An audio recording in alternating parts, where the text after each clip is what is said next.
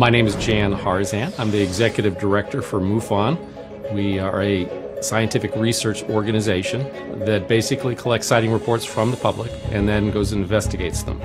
Our mission statement as an organization is the scientific study of UFOs for the benefit of humanity. And we have three primary goals. We investigate UFO reports, we promote research into the UFO subject, and we educate the public on our findings. MUFON is really more just left of center, where we try to take a scientific approach by collecting the data first off, and then reviewing the data, investigating the data, and making sure that what we're seeing is actually something that's truly an unknown. We have 3,000 members worldwide. Many scientists, physicists, PhDs, metallurgists, biologists, all the way down to just the average citizen who really wants to get involved. Some of those have chosen to become field investigators, and they go through our field investigative training courses. They become part of the team in their state or country where they reside, and they actually get engaged in going out and meeting this phenomena head on. We receive about 500 to 1,000 reports per month from around the world. Field investigators will take the case, generally review it, uh, try to come up with a hypothesis, checking star charts, and we'll go put an investigation in place to determine what exactly happened. We've recently formed a science review board, and that board is made up of scientists from around the United States and around the world to review some of our more significant cases and try to render an opinion on them. What we'd like to do is be more outbound, more outspoken in terms of the really true UFO cases. So MUFON is moving forward with this approach and we'll be publishing papers in these different areas to allow the general public and even the scientific community to be able to be challenged by what we're finding. That's the strength of MUFON as an organization is being really the truth seekers of the UFO field.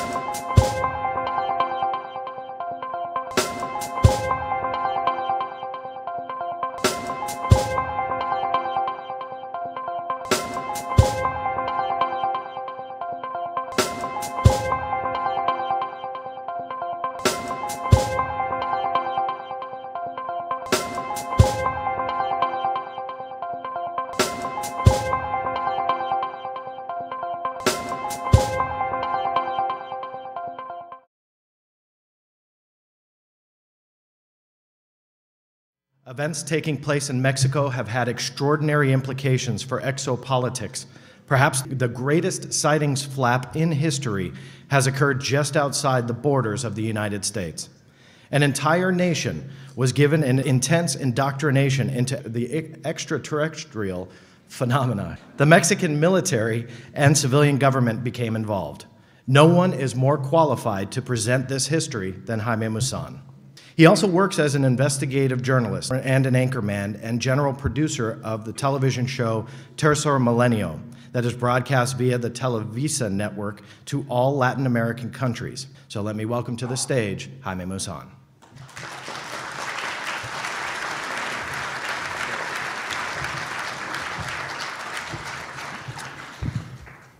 Thank you very much.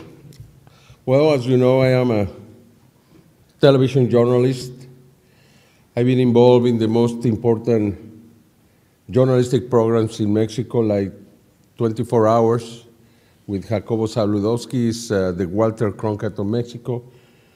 Just uh, recently passed away. He's considered the master.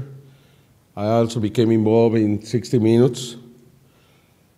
And uh, as it was said in the introduction, in 1991, I realized at the moment of the total solar eclipse that many people with cameras in the streets were able to record UFOs.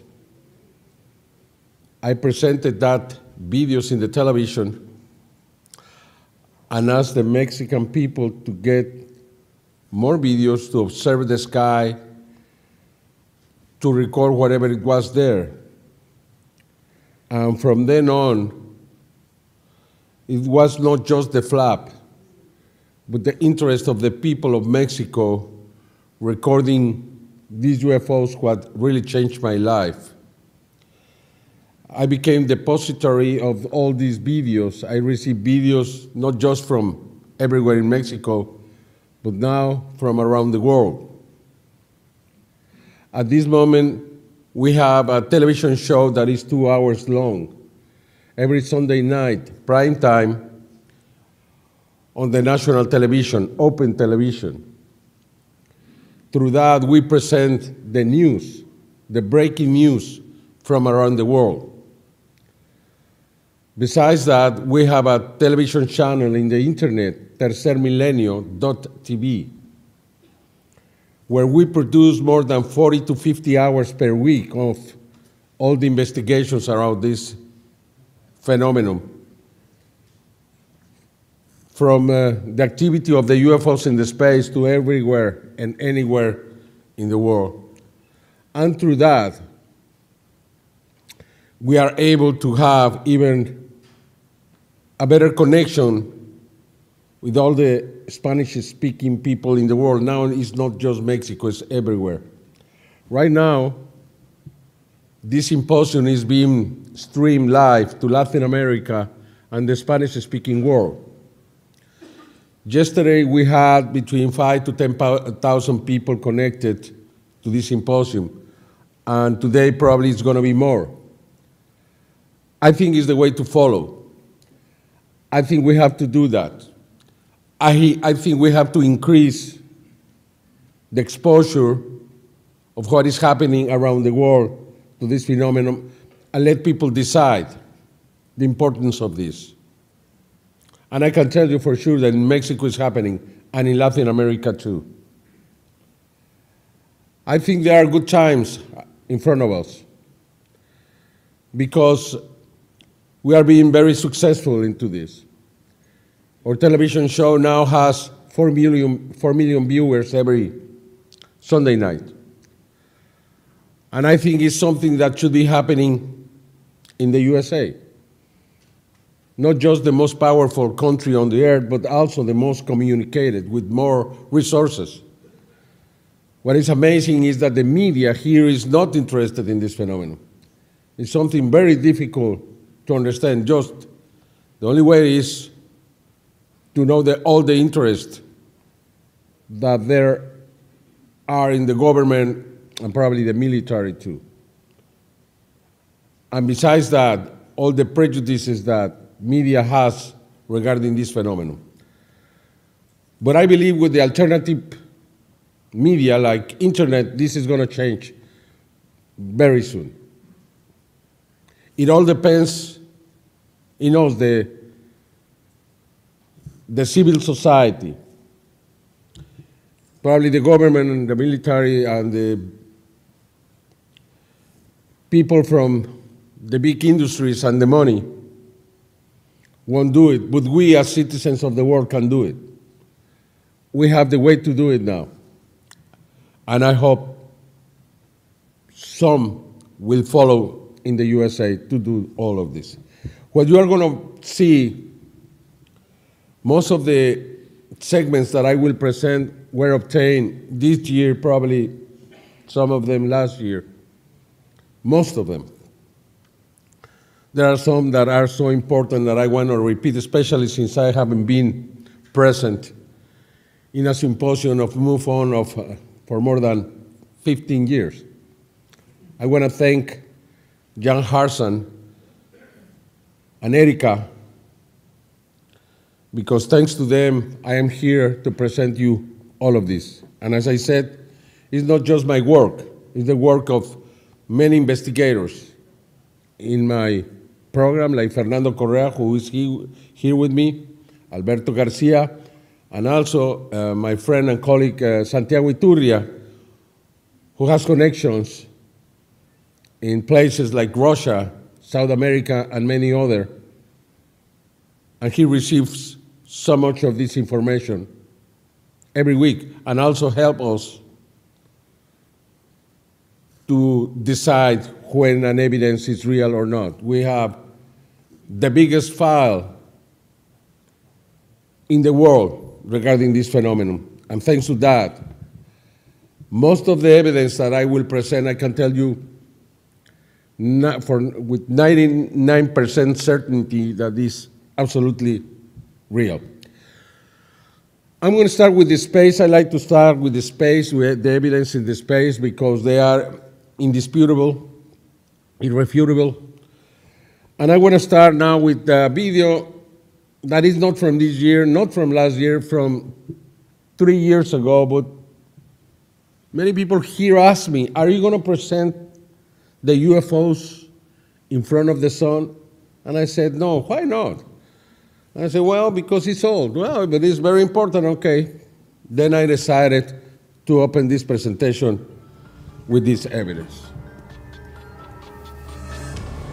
This happened first in March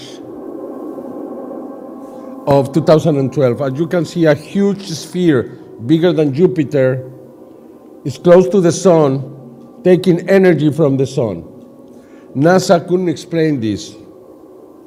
They bubbled when they tried to, to say what it was. It was there for 72 hours taking energy from the sun and then suddenly leaves, leaving behind turbulence.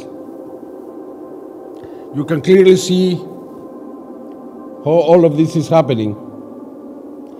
Freeman Dyson in 1960 predicted that this was going to happen, that in the future we would see black spheres taking energy from the sun. As you can see here, this sphere, which is even bigger than the other one, is taking energy, and we can see the flames around the sphere. Very briefly, just to let you know that there are huge, huge spheres, motherships, that come here and take the energy, and of course they are responsible for all of this. This video is from August of uh, 2014. As you can see, this object is in front of the comet Churyumov-Gerasimenko that is there, the Rosetta mission, and in November, the little uh, probe, Fileta, uh, was sent to there. But this was recorded in August. August, what is this? What is this in front of this comet? It's not human. It is clearly an object. This video was released by the agency in Europe, the space agency in Europe. Then we can see this object landed in the comet Churyumov-Gerasimenko. There are so many mysteries around this comet that is now being studied by the Europeans. You can clearly here see that object standing there. It means that they are interested to for some reason, or they are observing us being there. What is this? Have you seen it? Why this is not in the news? Uh, this is official material. Fortunately, Fernando Correa found this directly from the agency in Europe, and we were able to, to present it. These are some of the sounds of this comet, strange sounds that come from within.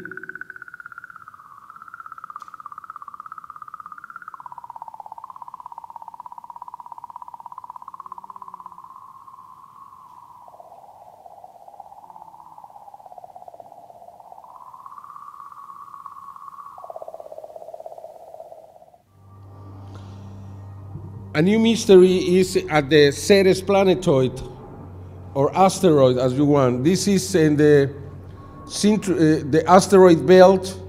As you can see, they found these lights inside a crater.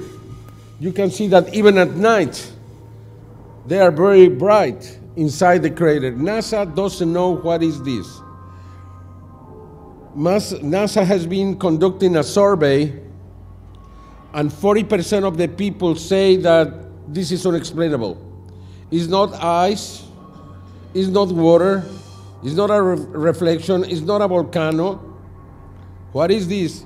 These lights inside this crater, NASA doesn't have an answer. You can check this. You can go to internet and check the lights in Ceres. This is also an old evidence, but it's my very favorite one. Probably you remember on November the 9th, 2007, at the Gusev crater in Mars, the Spirit rover took this picture. Nobody, nobody has been able to explain this to me. When we get a close up here, we can clearly see there, standing, sitting, what looks to be a woman. This is not a rock. A woman in Mars? Come on, are you crazy? What is this? Tell me. Is this a rock? You can see the dress, you can see the hand. With some filters, you can even see the color of it. This is a, for me, one of the most important evidences ever. Less than a mile away, the Spirit took this picture. What is that? In the middle of nothing. It is like a house from the earth made with stones, one stone over the other. A rustic house. What is there? What is that? Nobody has explained that. NASA doesn't even say anything around this. I think it's very clear. And besides that, we have found many more domes in, uh, in, in Mars. Even from the first day, why they didn't send the Curiosity to see this dome? This is one of the first pictures that Curiosity took from Mars. And we can clearly see there this huge structure has to be huge.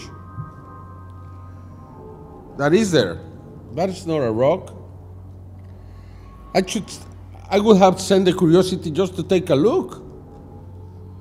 Instead of that, they send the curiosity to the other side. Another mystery in Mars, something that nobody talks about it. As you remember, in 2004, the rovers, Curiosity, I mean, Opportunity and Spirit, were sent to Mars in a mission that was going to last three months. The Opportunity is still working. The Spirit, the Spirit worked for seven and a half years. Why they thought they were not going to work? Because after just a few weeks, they would be covered in dust and the solar panels would stop working. Okay, that's the way they are. But then someone, somebody, something comes to the robes and cleans them. You know what NASA says? Is the wind. Have you seen the wind clean your car? Have you taken your car to the highway? Oh, I'm going to clean my car and let's let me go around, you know, with the wind, no? And this is true. There, there is no explanation why every time, every time, not just once, but many times, they, you see, now it's completely clean. Now it's covered, now it's completely clean. You can see here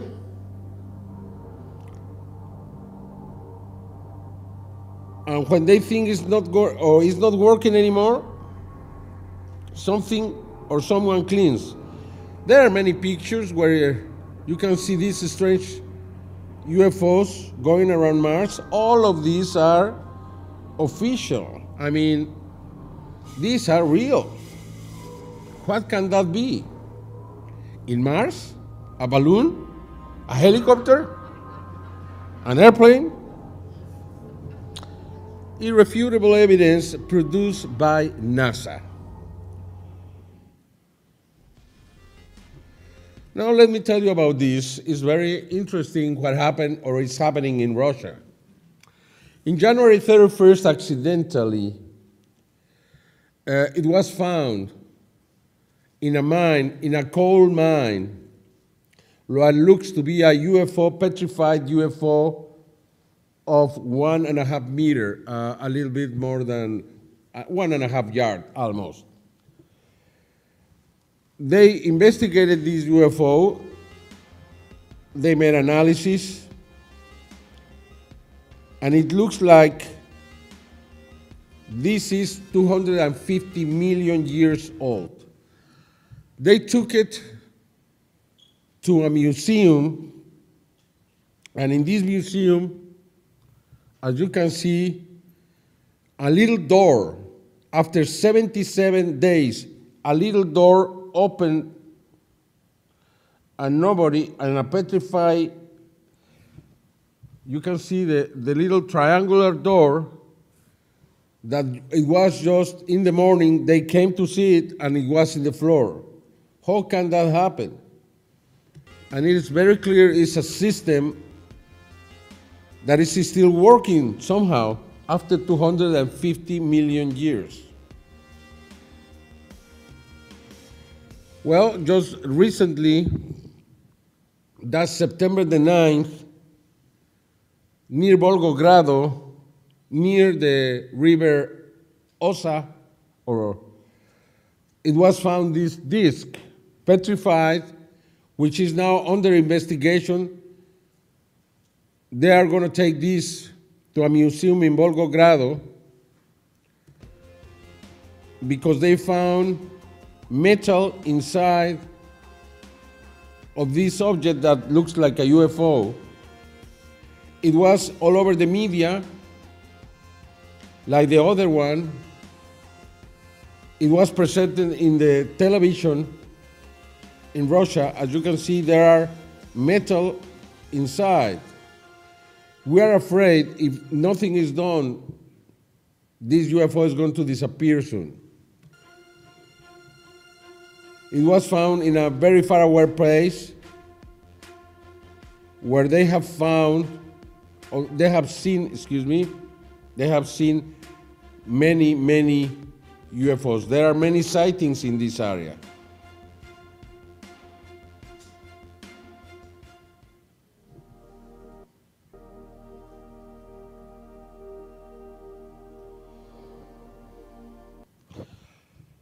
Okay, now let's continue. I have to keep on going fast to present everything I brought for you. I don't have time to, to spend in every single evidence because it's too much. But now, as you can see, the, the cameras, the security cameras, are recording incredible things around the world, like orbs, orbs that are invisible to the eye. For example, in this case in China, this family saw this sphere, this light, and then they came out to try to catch it, but they never saw it. You see, it's moving, it's intelligent. You cannot imagine how many times they do this to us. If you have felt a presence, probably is there. This is in Mexico. You can see these spheres going, moving, checking, investigating, and they are invisible to the eye. Later on, I will present you some spectacular videos of invisible UFOs. Now, with the new technology, the infrared technology, now with the Yukon Rangers, the night vision, the FLIR, the thermal cameras, you can see so much more than we did in the past. The orbs are everywhere. In Russia, in Mexico, all of these are just from the last few months.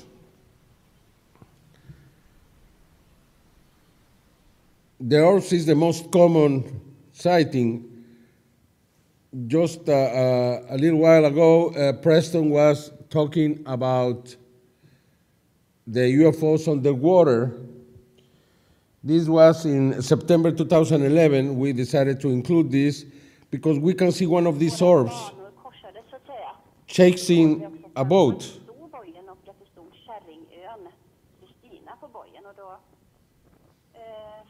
Fiske, fiskebåt. But they just not chase boats, they chase Den hade fastnat i just cars, det om att det var. they chase Det kunde ha varit en ubåt då. uh, railroads, You can see here, this is Argentina. This is from, uh, from this year. You can see this or chasing the car.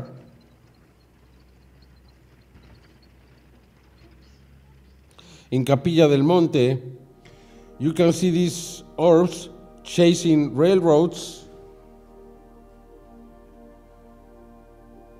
In Russia, we have different videos. You can see the date and the place in every single video.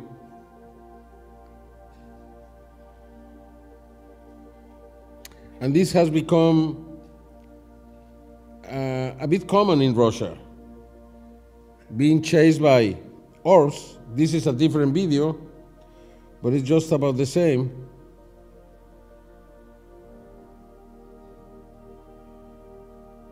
And believe me, they are, they are real. And people know, and this is presented in the television, we have now another. This is flying.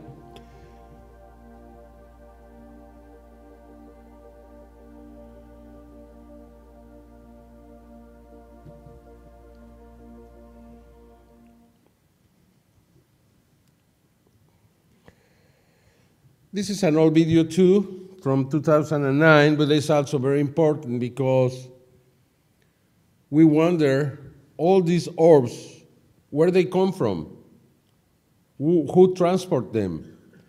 And in this video from Pedro Hernandez outside Mexico City, you can see this object releasing hundreds of orbs on both sides. This happened after an earthquake in 2009. This little object is uh, spinning, and then the orbs came and fly, flew around the big object or the mothership or whatever, and you see, you see they circle them and they go. Then they came back and they made a formation, a fleet at least two different people recorded this event because of course many people say, oh wow this is created you know this is digital this is no. In the very recent years we have seen these orbs now making groups probably creating motorships because others other lights come from within or go inside these groups, I believe this is technology the, that is very far away from us.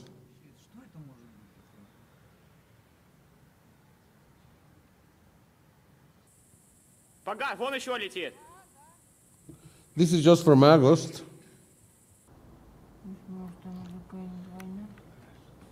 We don't know how to call them, then we say they are mother ships. This is the second video from the same event. This is all of these videos, I believe, are from Moscow.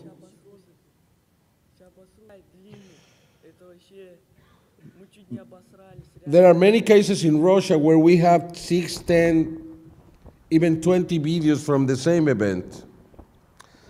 In Russia, people are really open. Mm -hmm. This is 9 of September 2014. We can see this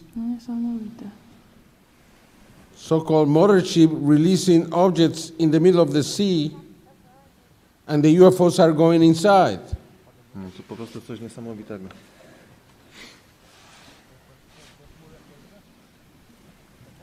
Ja się spytam tej kobitki, czy co? Ona go nafotografuje takie rzeczy.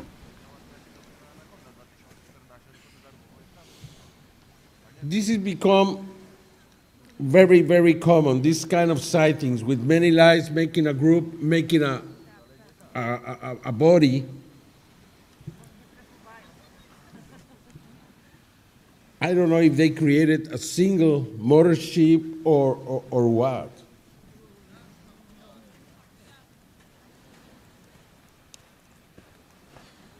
Pani ma tak niesamowite zbliżenie, że widać mhm. elementy, które spadają i się palą. This is in Poland. No ona też nie wie co to jest, też to filmują. Ale z tych elementów da się coś tam... Nie, mówi za daleko.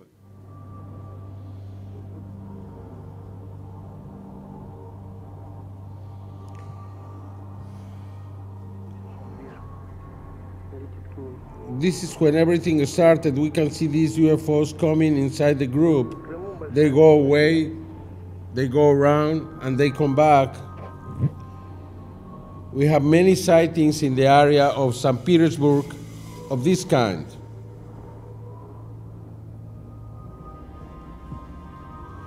You see, this is what we present to the Mexican people every Sunday night. Да, оба, погасло. Что это было? Или это от него? Нет, так... Как же? Отбросилось, а потом Блин. опять шло. А ты сняла? Да. Ну, там чуть-чуть.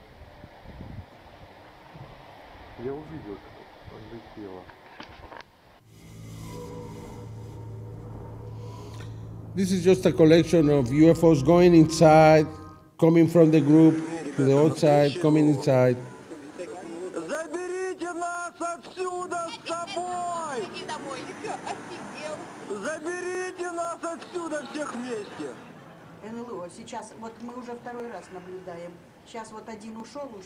Самое, отделился. Он потом, он потом подойдет и опять загорится. И This is in St. Petersburg. Где-то снимает, но не знаю. Он всякими этими, смотри. О, о, видишь? Вон и шар подлетает какой-то. Вот, Look at that. Опа-на. Опа, о, вот. Соединился. Соединился, блеснуло.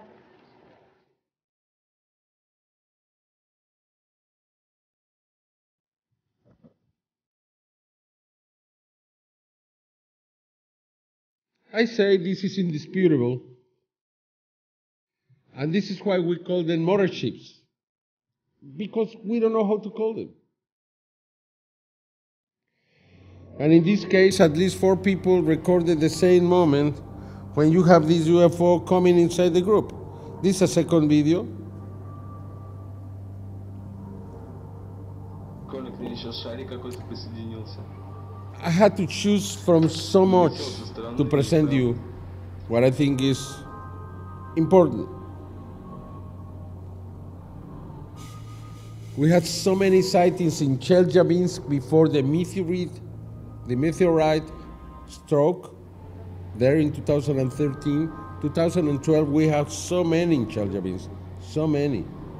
Especially December 23rd, 2011, when we, we had this UFO going around the city, and at least 20, 20 people recorded that. In St. Petersburg, we had sightings in 2011, 12, 13, and 14. We didn't have them this year. Around the same time, that is from the last days in March to the beginning of April.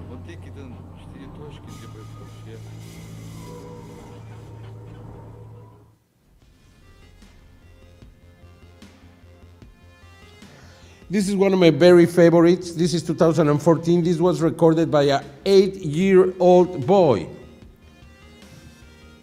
You can see that motor ship or huge UFO standing in Martinez in France, and the boy stayed in the balcony of his house whole day. You can see how this uh, inclines and then leaves, and then it will come back again and again. And this little boy, eight years old, who deserved an award, got the UFO many, many times. I, we thought was the video of the year last year.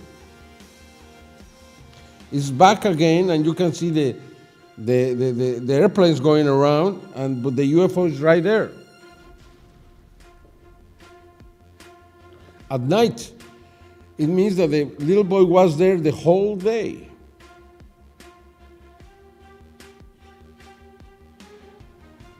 You see, now it's going to leave again with the same kind of movement. It gets inclined and then leaves.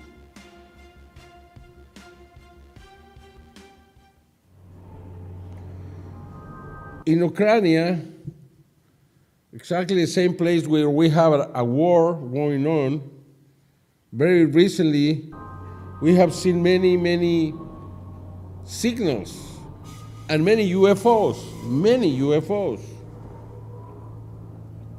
It has happened three times. It happened with the revolution in 1917. It happened again in uh, 1989 when the separation of uh, uh, or the the end of the Soviet Union, and it happened now uh, with the beginning of this war. And look, for example, this extraordinary video recorded in Kiev, in Ukraine, March 6, 2014. A huge cigar-shaped object very clearly moving above the city, Kiev.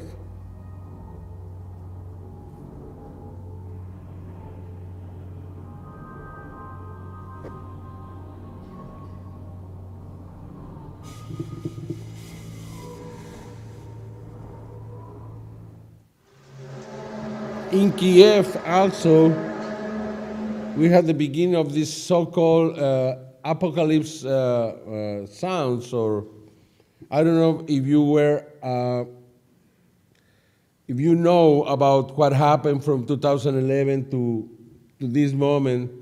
We have these sounds coming from the sky, uh, but it seems that they started in, in Kiev in August 11, 2011. These kind of sounds.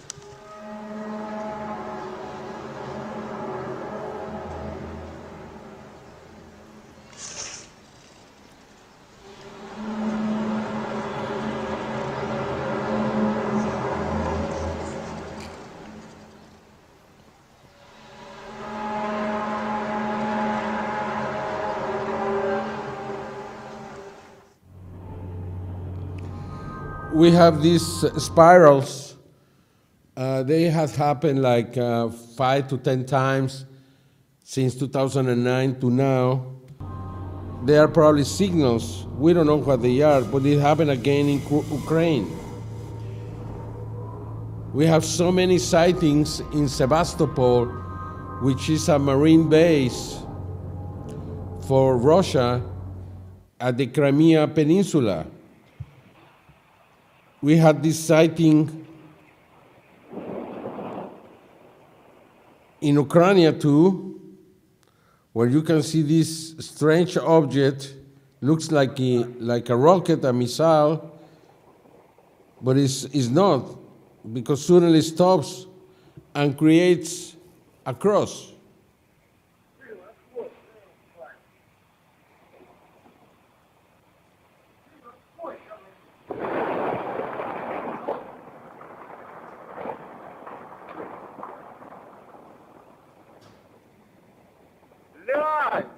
ангел!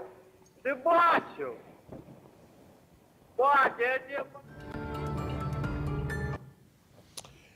I'm sorry to go so fast. We could see so much more of what is happening there, but there are so many other very interesting subjects like uh, aerial security. We've seen these orbs coming very close to helicopters like this, to airplanes.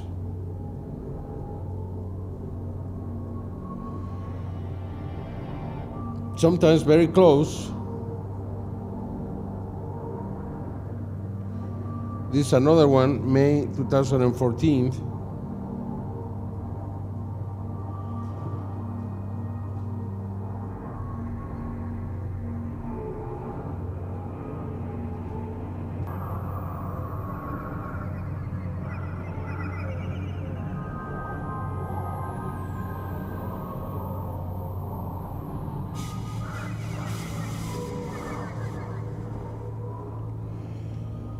We have these photographs of a very clear UFO going very near an airplane in Mexico, in Guadalajara. You can see the size of it, the shape.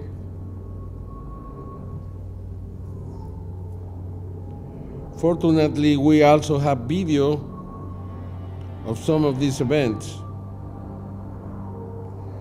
but they come very close to the airplanes and probably some crashes were produced by, by them. For example, this is from December 2014, Guadalajara. and it's a sequence of photographs where we can see this object going near a military plane.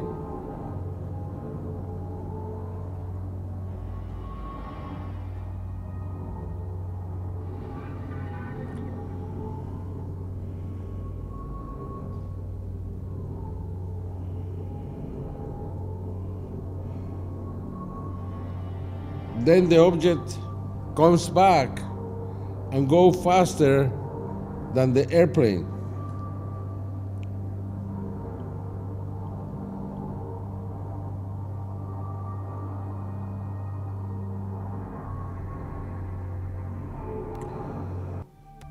For example, this is New York. Look that UFO going faster than the airplane.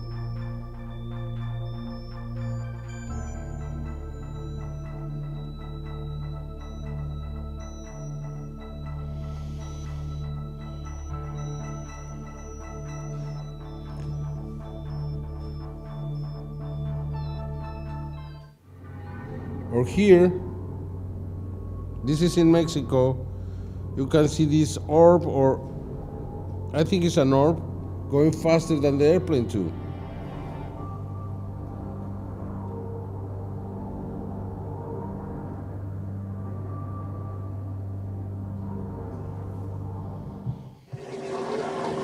And this is very interesting. This is March this year. Uh, they were, this is a pilot taking lessons very near Mexico City in Metepec. And they had a camera just in case. And please look what they recorded. You can see many spheres, five spheres like this one, going very near.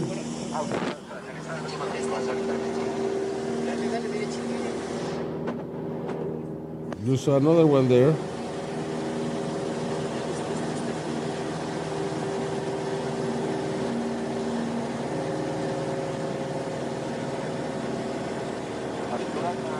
I think they were in danger.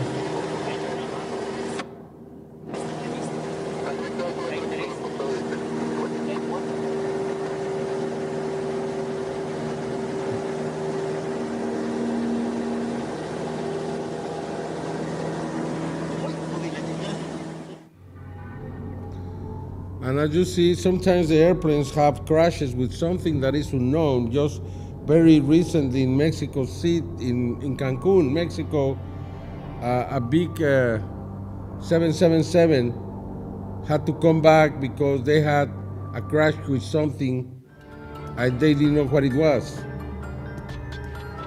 They had to land again.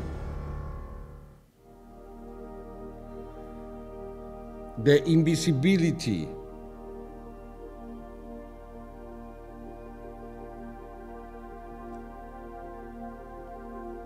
exist. These are experiments in Japan. Uh, these things reflects what is in the back to the front.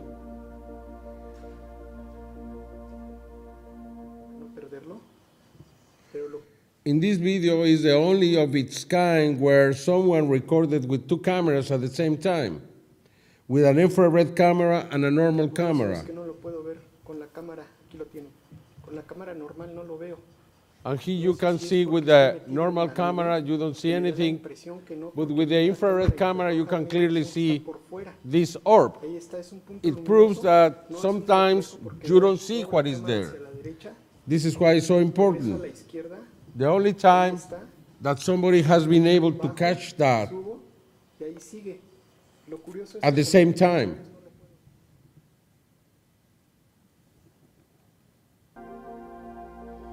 All these videos are from UFOs that were not visible with the eyes.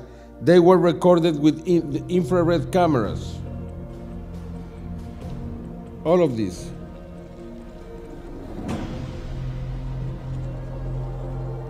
This is a new technology being used to discover them. I think the proposal of uh, Mark uh, de, it's his name, it's very interesting. to use uh, this new technology with special cameras. This was recorded by my team making a, a, a sky watch near the volcano Popocatépetl. Look this object. It was huge. It flew above them.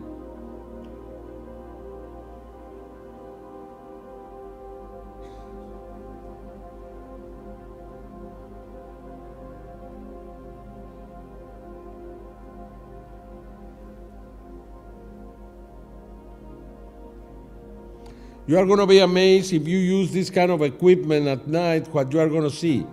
Things that you don't see with your own eyes. Oh, the two moving lights! Holy shit! Let me just adjust this. Oh man. Holy shit, look at that. Look at him, they're like completely moving. I don't know.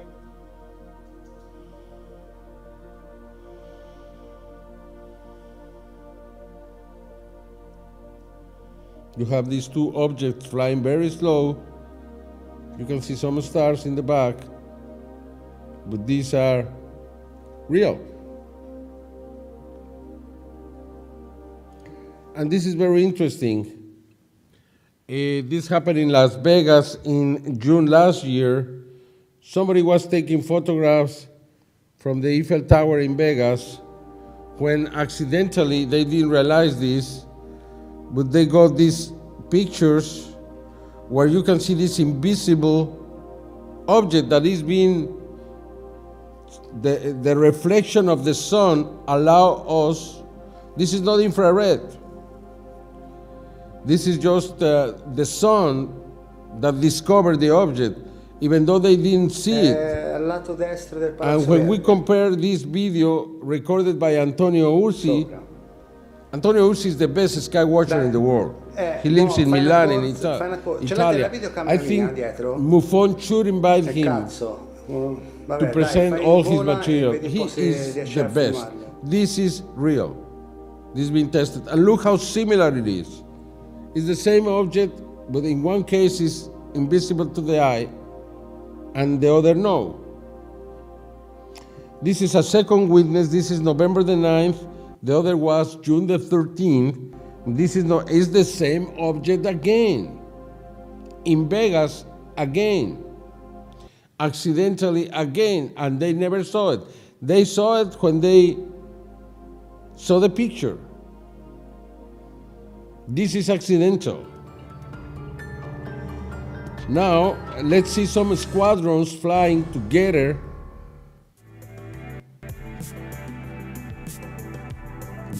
Recorded with infrared cameras or night vision cameras. Look at this.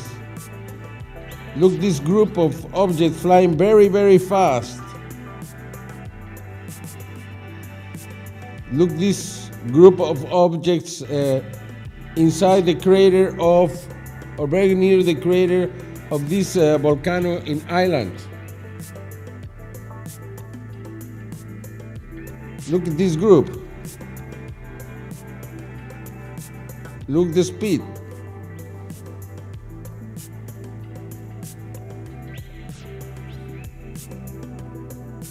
We call them squadrons. They are here. Look at this.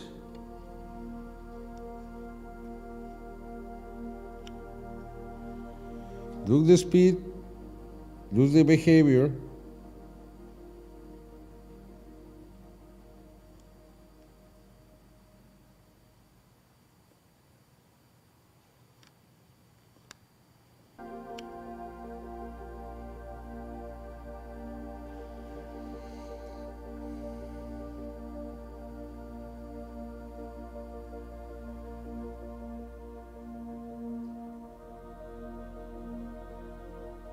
This is uh, near Mexico City.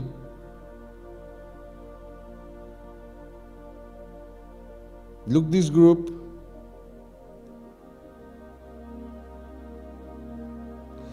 This is uh, also infrared camera, invisible to the eye.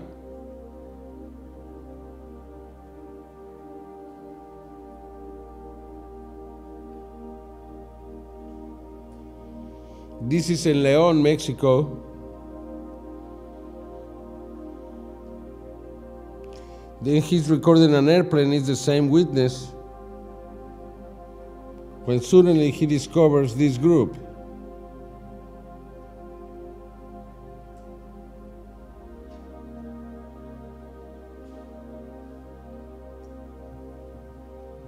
This is in California.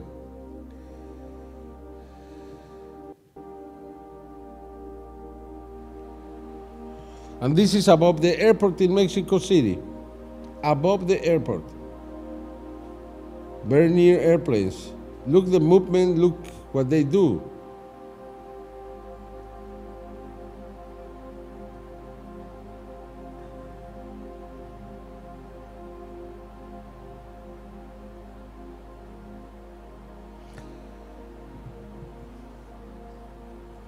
We asked the American Mexican authorities to do something about it because one of these days we're going to have a huge accident because of this. Well, now it's the volcano Popocatépetl near Mexico City, 40, 30 miles from Mexico City. And this is, camera is from Televisa, the big network, and they have a camera recording 30, 30 frames per second. And look at this, recorded on the 25th of October, 2012. Nobody was able to explain this. Nobody was able. And it was recorded with two cameras. The other was the scientist camera from the National University. This is the real movement. This is the real timing of this object going inside. What is the size of this? Uh, two days after that, the 27th of October 2012, just uh, at the same time that Hurricane Sandy was going to New York, three different radars, the radar from the National System, Meteorological System in Mexico, the radar from NOAA, and the radar from uh, Intellicast from uh, the Weather Channel, got these images of this, um, how can I say, magnetic energy moving from very near the volcano in Mexico and creating this. You can see Sandy on the right. Look at this uh, energy coming from the area of the volcano and making a spiral and moving. And you can see two spirals, one above the other, moving in different directions as was registered by the radar. This is from the National Weather System in Mexico. This is from NOAA. Look at this. This is from the crop circles in England and it's very, very similar. What is it? It is considered that it's a message, a message to the seed of light, of life. This happened just two months before the end of the Mayan calendar. And we interpret this as the beginning of a new era. It's like a, a like a new being was going to be born, a new beginning. Nobody has been able to give me an explanation, no the Mexican meteorologist, no specialist the, from the US, Nobody has seen something like this ever anywhere in the world. What I think for me are signals, signals, contact, messages.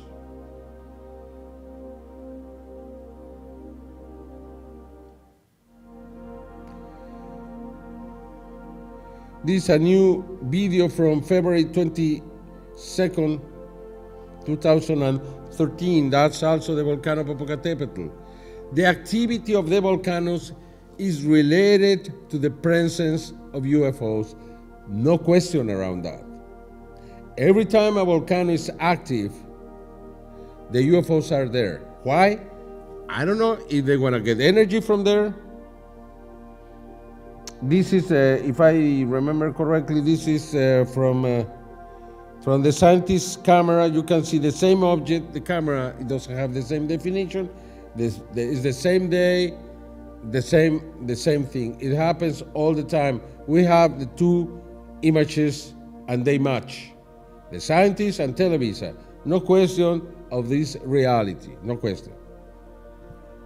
And again happened in May 30th, 2013. The camera got this image, and you can see the UFO going around and coming back and going inside the crater. Why they go inside a crater, I don't have any idea. I don't know if you do, but is there a base there? Uh, do they use it? Uh, are they solid? Can they go inside? I mean, there are so many questions. If we didn't have the image, nobody would believe this. But you see, when this is presented in the national news, with an skeptic journalist telling, What is this? And, and, and then you present the expert saying, Oh, well, it's a, it's a meteorite, you know, it's a. Oh, well, we don't know. It's, a, probably a galaxy fallen. Oh, wow. That was a good one, don't you think? A galaxy fallen. And she did it like this, you know? Okay, well, let's continue. Uh, this is uh, 25th of July, 2015. Now is the volcano, Volcán de Fuego, the fire volcano, which is very active. And this was recorded by Webcams de Mexico.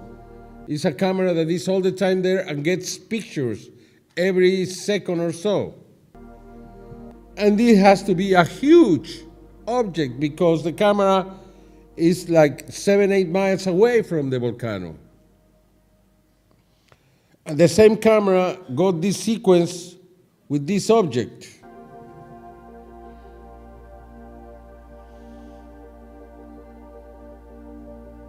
As you can see, it's not that they are here, they know everything about us. They watch us, they go inside our houses, they, they are there, they are invisible to the eye. They have an incredible technology. They use mother chips, they come around the sun. This is again another evidence from the volcan, volcan, the fuego, the fire volcano.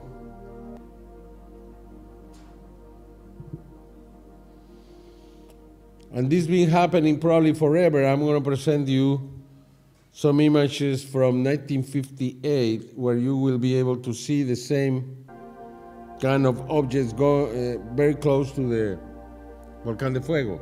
It's a very, very active uh, volcano. It's uh, erupting most of the time, a very dangerous one. And they are there con constantly.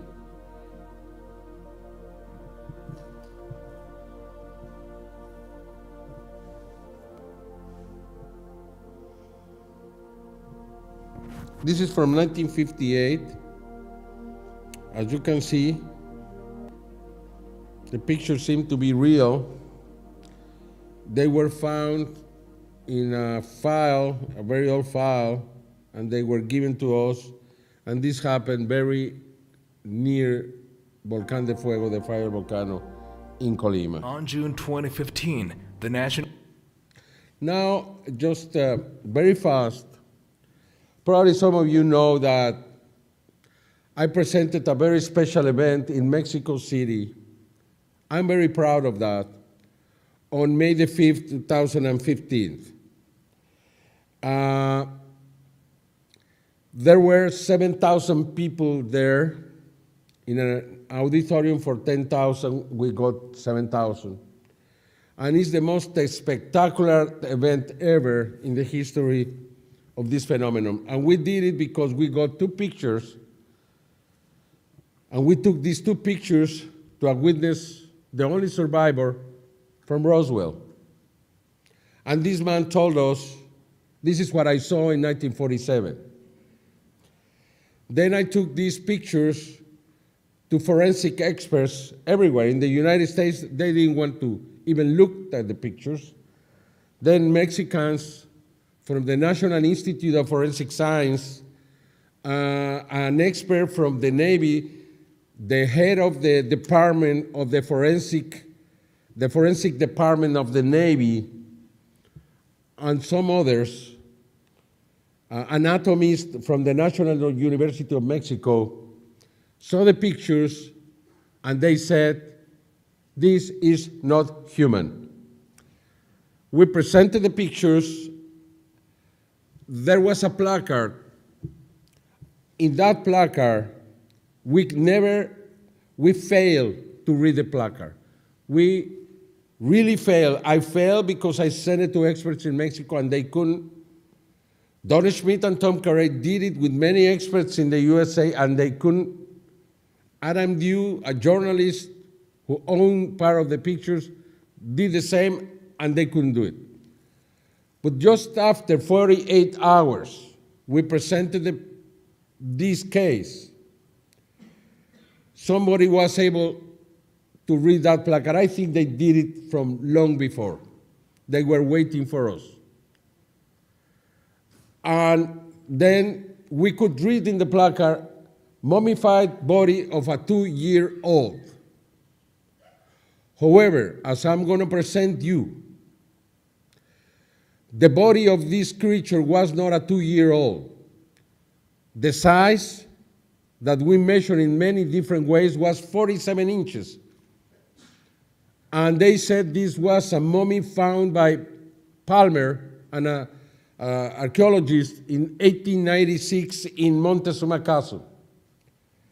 And everybody was convinced was that. However, we were able to find the real pictures from the finding by Palmer. And we also found the documents, the official documents of the finding, stating that this creature, this boy, was just 29 inches long. It means that it's different.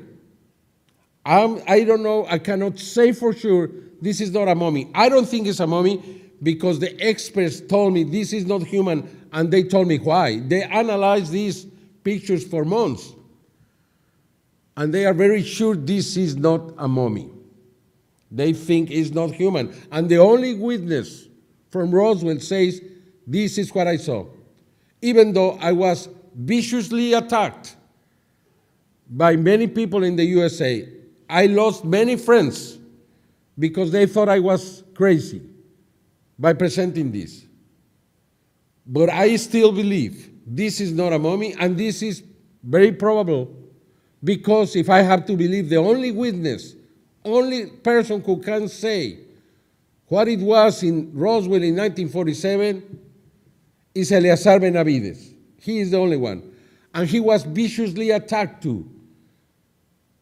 There were people asking for others to go to his house, throw rocks, do something, make him change his opinion. I never seen anything like this happen to anyone because we were trying to present the truth. And I'm very disappointed from many friends and investigators, so called investigators in the USA, because of what they did. I did it not, not for the fame of the money, I was attacked. They said that I won a million dollars. I lost and I stayed publicly. I told Erica Lukes in an interview, I lost $100,000 and I didn't care because I had to do a real event, a real to attract the attention of the world. Unfortunately, there were many that were not. They didn't agree with me and they tried to destroy the case. And it's a shame, a real shame, because we in this community have to be together. It's the only way to have results. It's the only way to succeed. Succeed. But not everybody thinks the same. It's unfortunate. Let me present you something. We don't have too much time.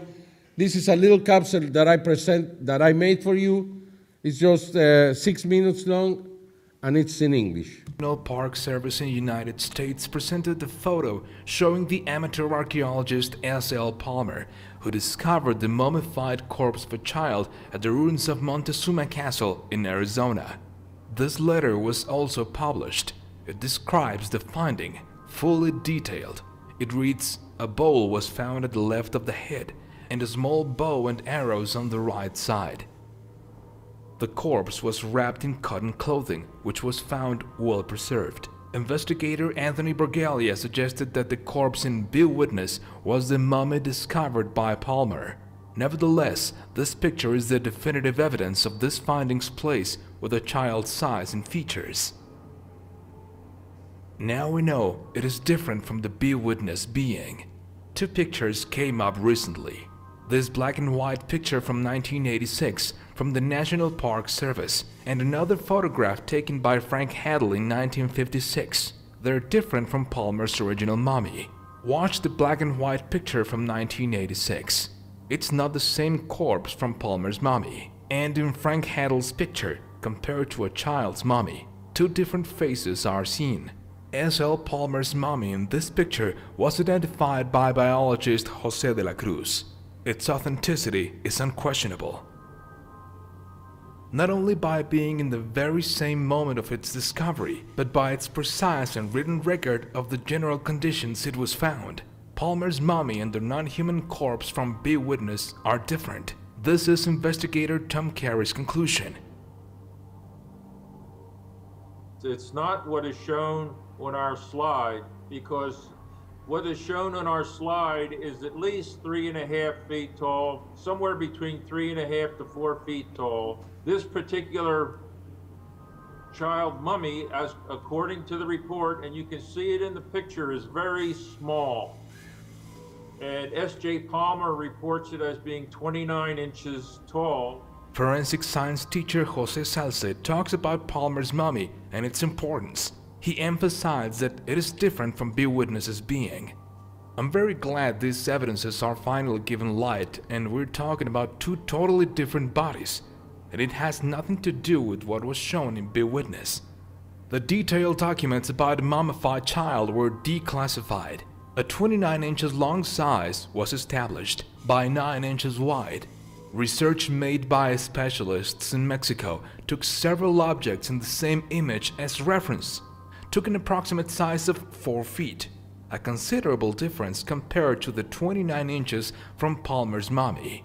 Shortly after the Be Witness case was presented, some investigators decodified an unreadable plate that was shown next to the corpse. This is the written message. Mummified corpse from a two-year-old child. It is difficult to establish why this sign was placed next to a corpse which size and features from a relatively cool specimen do not match a two-year-old child.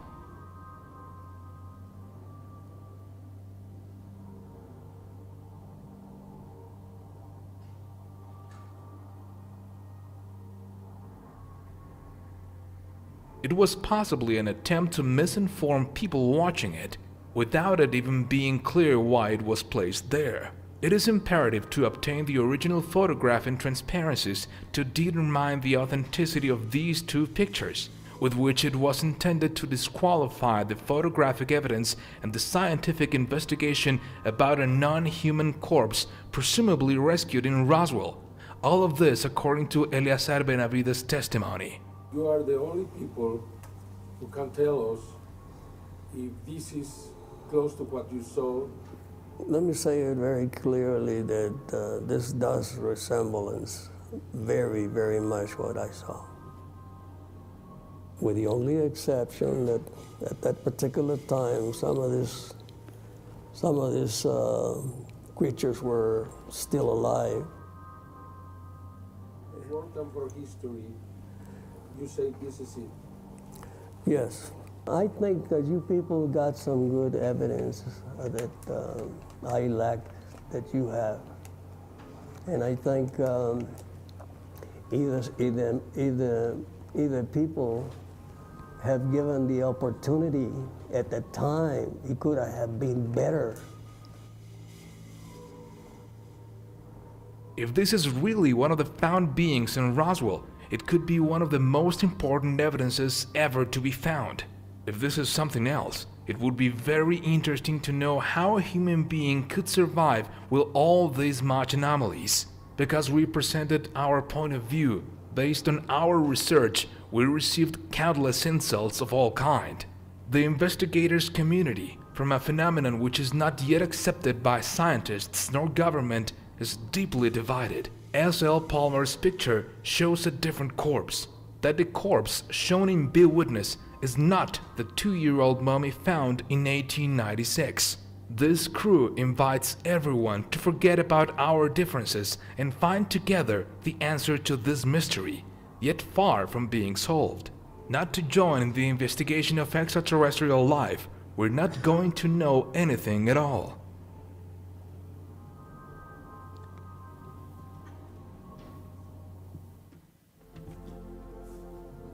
Uh, this is the body. As you can see, it has just six ribs. It doesn't have a wrist. It doesn't have an elbow.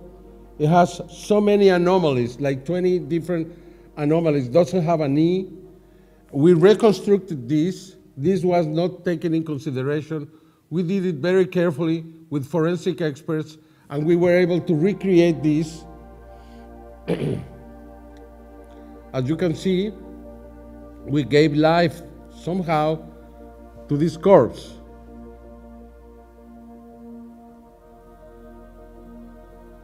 I don't have the time to discuss all of this, all the details, but uh, with this opportunity, I just wanted to let you know all the work we did and that we still believe that this is very important and shouldn't be buried under all the accusations that were done to us. We gave life to this face, as you can see. And I don't think this is a child.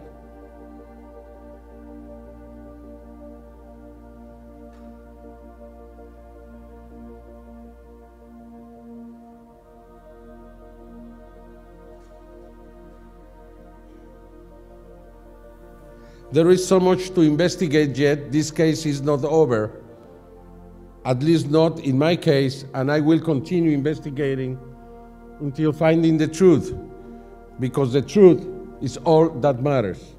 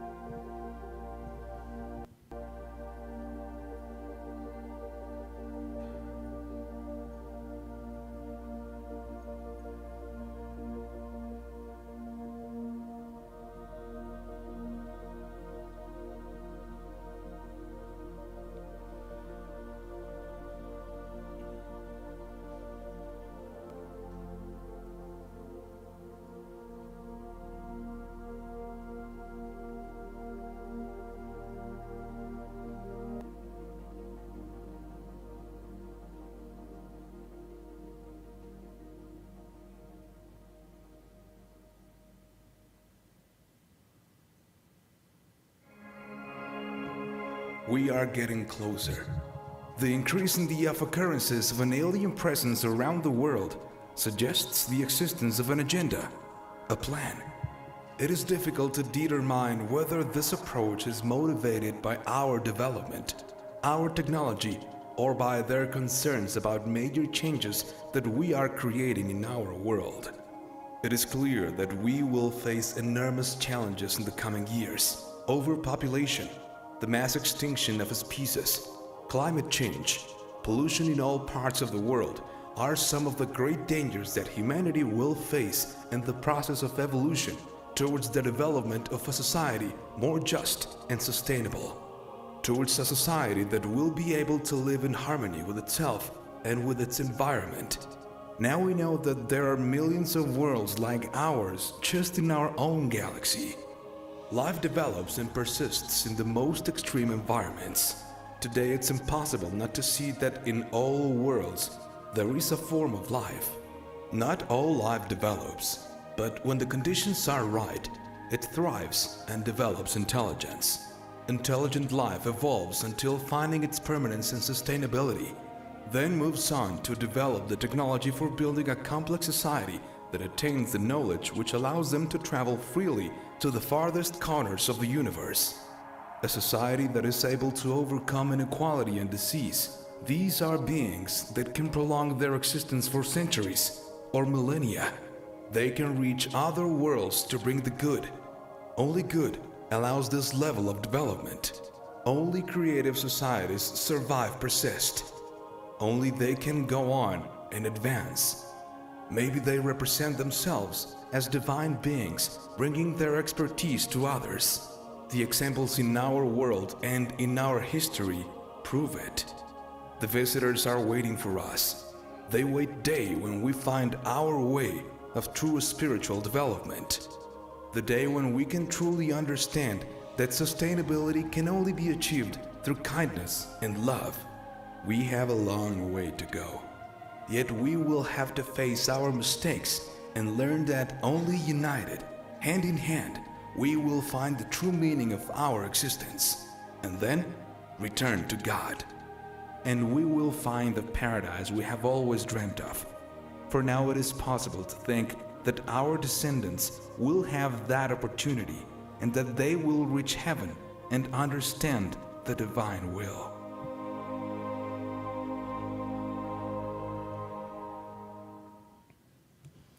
Thank you very much.